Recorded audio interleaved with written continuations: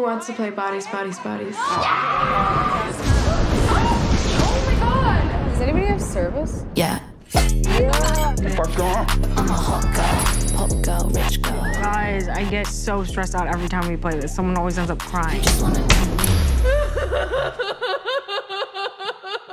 So how do you play?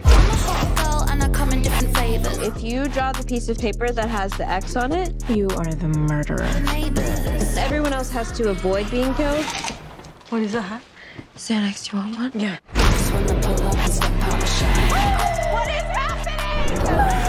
Our friend is dead. So if you could just like not escalate this situation, that I'm not escalating. You're holding the knife and you're moving your hands while you talk.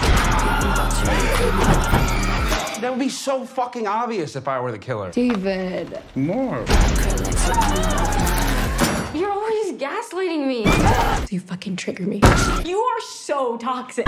Relax, relax. You're silencing me. That all you got, motherfucker! Did you just fucking shoot me? I can't believe you're making this about you.